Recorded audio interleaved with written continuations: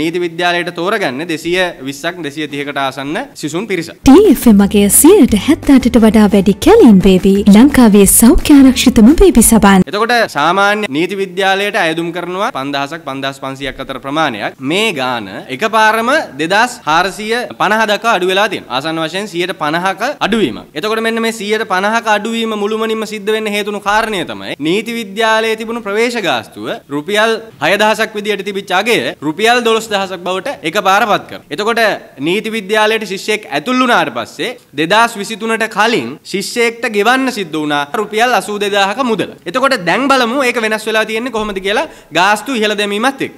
හැබැයි දැන් මේ මොහොත වෙද්දී නීති විද්‍යාලයේ අභ්‍යන්තරව ශිෂ්‍යයෙක්ට ගෙවන්න වෙන මුදල විදියට රුපියල් 246000ක මුදලක් පැහැදිලිවම ගෙවන්න සිද්ධ වෙලා තියෙනවා. රජයේ විශ්වවිද්‍යාලවල නීති පීඨයන් වල ඉගෙන ගන්න ශිෂ්‍යයෙක් ඔහුට නීතිඥයෙක් විදියට ප්‍රැක්ටිස් කරන්න අවශ්‍ය වෙන තත්ත්වය සම්පූර්ණ කරගන්න නම් අනිවාර්යයෙන්ම කළ යුතු දෙයක් තමයි නීති විද්‍යාලයේ තෙවැනි වසර අධ්‍යයන කටයුතු සම්පූර්ණ කරන්න ඕන ප්‍රැක්ටිකල් ට්‍රේනින් එකත් එක්ක. මෙන්න මේ දෙක සඳහා අය කරගන්න මුදල කලින් අවුරුද්දේ තිබ්බේ 33500යි. හැබැයි දැන් ඒක 93500 දක්වා දක්වා වැඩි වෙලා තියෙනවා. එතකොට මේ සමස්තය අරගෙන බැලුවට පස්සේ නීති විද්‍යාලයේ ගාස්තු 100ට 300ක විතර ප්‍රමාණයකින් වැඩි වෙලා තියෙනවා. එහෙම නැත්නම් යම් ආර්ථික මට්ටමක් ඉක්මවපු පිරිසකට තමයි නීති අධ්‍යයනය කරන්න පුළුවන්. එක්තරා පන්තියක බූදලයක් බවට විතරක් දැන් මේ මොහොත වෙද්දී අධ්‍යාපනය පත් වෙමින් යනවා. රාජ්‍ය විශ්වවිද්‍යාල පද්ධතිය ආරක්ෂා කරනවා නැත්නම් රජයේ අධ්‍යාපන පද්ධතිය ආරක්ෂා කරනවා කියපු කට්ටියක් දැන් මෙන්න මේ වෙලාවේ කරලා තියෙන මෙන්න මේ වගේ සමස්ත වැඩපිළිවෙලක්. ඒතකොට අපි බොහොම පැහැදිලිව කියනවා ආණ්ඩුවට අලුත් ජනාධිපතිවරයාට මේවාට කඩිනමින් අවධානය යොමු කරලා කරලා මේ ප්‍රශ්න විසඳන්න.